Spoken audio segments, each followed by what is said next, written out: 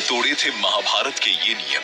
क्या आप जानते हैं गुरु द्रोणाचार्य और भीष्म की निगरानी में होते हुए भी कौरवों ने युद्ध के नियमों को तोड़ दिया था? लेकिन सोचने वाली बात है कि वो कौन से खास नियम थे? पहला नियम नियम बनाया गया था कि इस महायुद्ध में जब शाम ढल जाएगी, तब सभी योद्धा अपने हथियार को छोड़ देंगे। लेकिन इसके बाद भी कौरवों ने आधी रात में पांडवों पर हमला कर दिया था और पहले ही नियम को तोड़ दिया था। और तभी भीम पुत्र खटोत्कच ने आधे से ज़्यादा कौरवों को खत्म कर दिया था। दूसरा नियम, वही दूसरे नियम की बात करें तो कहा गया है कि युद्ध खत्म होने के बाद सभी दुश्मन योद्धाओं से प्रेम पूर्वक व्यवहार करेंगे और कोई किसी के साथ छल कपट नहीं करेगा। लेकिन इस नियम को भी कौरवों ने तार तार कर दिया था जैसे ही सब अपने शिविर में पहुँचते क्रोध के साथ नई रणनीति बनाते और वही शकुनी अपनी कपटी नीतियाँ कौरवों को बताते। तीसरा नियम, लड़ाई में रथ सवार रथ सवार के साथ, हाथी सवार हाथी सवार के साथ घुड़सवार घुड़सवार के साथ और पैदल सैनिक पैदल सैनिक के साथ ही युद्ध कर सकता था। लेकिन इस नियम को भी तोड़ दिया गया था। जब भगदत्त हाथी पर सवार था और अर्जुन रथ पर, तब दोनों के बीच घमासान युद्ध हुआ था। चौथा नियम जो योद्धा विजयी योद्धा के योग्य हो और फिर भी दोनों योद्धाओं की सहमति हो तब ही युद्ध करें अगर सामने वाला तुमसे कमज़ोर हो और वो तुमसे लड़ना नहीं चाहता है तो वो अपनी हार मान रहा है। इसीलिए तुम इसके साथ लड़ाई नहीं कर सकते और ऐसे लोगों पर वार नहीं कर सकते। लेकिन इसका भी मान नहीं रखा गया और इस नियम को भी कौरवों ने तोड़ दिया था। पांचवा नियम दोस्तों, एक नियम ये भी था कि कोई भी निहत्ते पर वार नहीं करेगा, जिसे कौरवों ने अर्जुन के बेटे अभिमन्यु का वध करके तोड़ दिया था। छठा नियम। छठे नियम की माने तो युद्ध में जिनका कवच नष्ट हो गया हो, उनके ऊपर वार नहीं करें।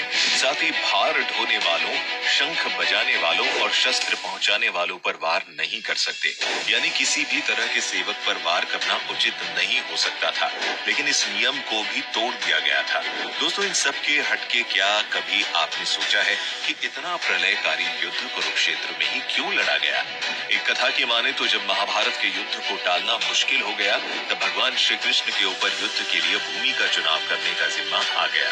तब भगवान एक ऐसी युद्ध भूमि चाहते थे जिसका इतिहास बहुत ही भयभीत और कठोर रहा हो, जहाँ भाई भाइयों के, गुरु शिष्यों के और संबंधी कुटुंबियों के इस युद्ध में एक दूसरे को मरते देखकर कहीं ये संधि न कर बैठे। इसीलिए ऐसी भूमि का युद्ध के लिए चयन करने का निर्णय लिया गया, जहाँ क्रोध और द्वेष के संस्कार पर्याप्त मात्रा में हो। तब भगवान श्री कृष्ण ने कई दूत अनेकों दिशाओं में भेजे और उन्हें वहाँ की घटनाओं का जायजा लेने के जिसके बाद में एक दूत ने भगवान को बताया कि कुरुक्षेत्र में बड़े भाई ने छोटे भाई को खेत की मेड़ टूटने पर बहते हुए वर्षा के पानी को रोकने के लिए कहा।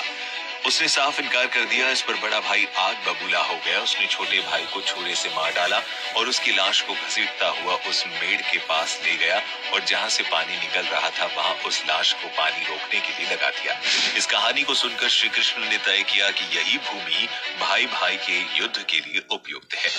जब देवकी नंदन आश्वस्त हो गए कि इस भूमि के संस्कार यहाँ पर भाइयों के युद्ध में एक दूसरे के प्रति प्रेम उत्पन्न नहीं होने देंगे, तब उन्होंने युद्ध कुरुक्षेत्र में करवाने की घोषणा की।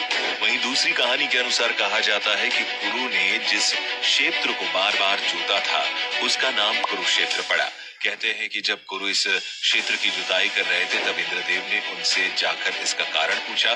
गुरु ने उत्तर में कहा कि जो भी मनुष्य इस स्थान पर मारा जाए, वो पुण्य लोक में जाए, ऐसी मेरी इच्छा है। देवराज इंद्र उनकी बात को हस्य उड़ाते हुए स्वर्ग लोक चले गए, जिसके बाद देवराज ने कई अन्य देवताओं को भी ये बात बताई।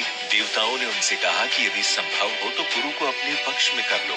तब इंद्र जी ने गुरु के पास जाकर कहा कि कोई भी पशु, पक्षी या मनुष्य निराहार बाहर रहकर या युद्ध करके इस स्थान पर मारा जाएगा तो वो स्वर्ग का भागी होगा। ये बात भीष्म कृष्ण सभी जानते थे, यही कारण था कि महाभारत का युद्ध कुरुक्षेत्र में लड़ा गया। तो दोस्तों, आपने जाना कि महाभारत के युद्ध में कौन कौन से नियम कौन ने तोड़े थे? वहीं अगर महाभारत युद्ध में जुड़ी और कोई रोचक बात जानना चाहते हैं तो कमेंट करके बताएँ।